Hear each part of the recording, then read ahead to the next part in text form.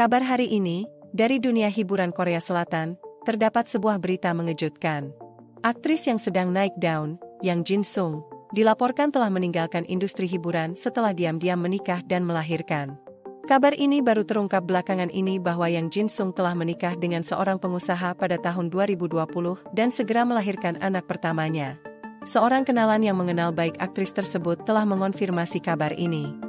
Menurutnya, Yang Jin Sung telah pensiun dari industri hiburan dan tidak banyak yang tahu kabar terbarunya setelah menikah.